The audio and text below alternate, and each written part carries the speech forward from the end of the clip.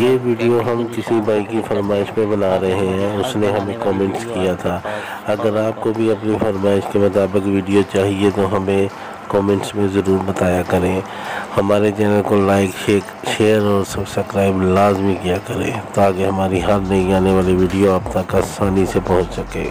शुक्रिया।